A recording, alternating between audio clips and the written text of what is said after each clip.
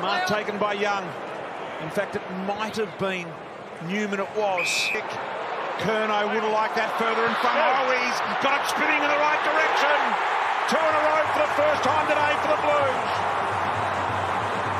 There has been a bit of a shift in momentum, though. Carlton have attained the last five inside 50s. Got a little bit of reward for it. Confronted by Young.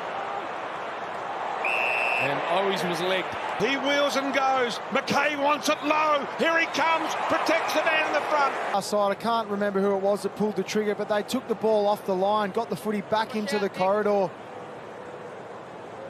That's a terrific ball to stop it. Finding a teammate. Hewett steers it for Charlie Curnow.